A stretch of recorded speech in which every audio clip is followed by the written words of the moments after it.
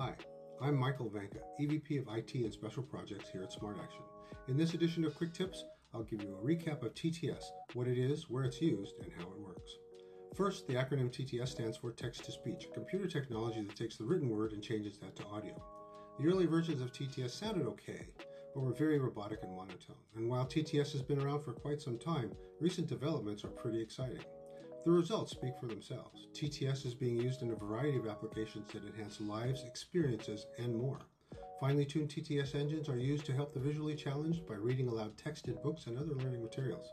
Used in conversational AI, voice bots enhance customer experience and solidify brand loyalty by using recognizable voices. Today, it's commonplace to hear human like artificial voices in customer service calls, and the better the voice is, the greater the expectation that the conversational AI bot behind it is just as good. How does it work?